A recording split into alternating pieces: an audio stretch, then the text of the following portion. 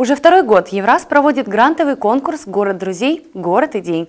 Его цель – привлечь горожан к общественной жизни и сделать родной город лучше.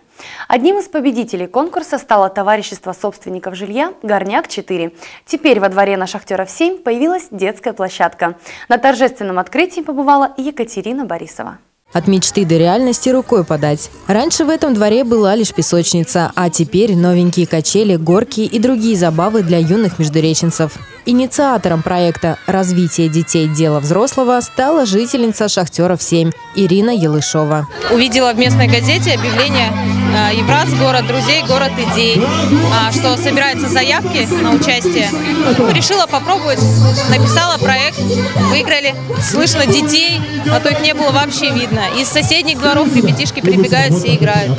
Я мама двоих детей, и даже возвращаемся с садика или со школы, детям поиграть негде. Теперь у нас есть замечательный двор. Как вы видите, на заднем плане это детский смех, это положительные эмоции, это заряд энергии.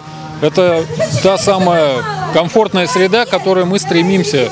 Компания «Евраз», Распадская угольная компания – Украсить мир вокруг себя, создать уют или условия – дело общее. Междуреченцы это понимают. Спорт, культура, благоустройство, инициативы и идеи разные. И если в прошлом году участников конкурса «Евраз. Город друзей. Город идей» было около 50, в этом уже более 70. Конкурс набирает обороты.